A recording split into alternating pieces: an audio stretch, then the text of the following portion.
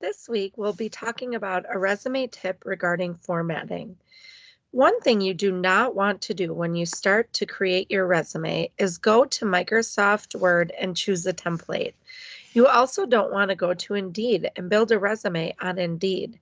Instead, you want to start by formatting your own resume. Employers tell us this is very important to have a well put together resume. So I'm going to share with you on how to format your resume. You want to start by choosing a blank Microsoft Word document in Microsoft Word.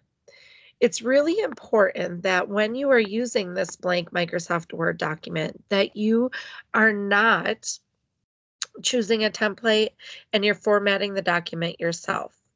You'll choose the paragraph option here. You'll set your spacing to zero point spacing, single spacing. Then you will go to layout, choose half inch margins. This allows you to use the entire page when it comes to your resume. Now, every resume that is created needs to include a header with your name, address, email, and phone number. You also need to include your professional skills, education, and work experience. If you have volunteer experience or club involvement, you could also add that section. To separate your sections, you want to use bolding. That way, each section will stand out on their own. You want to choose 11 to 14 point font.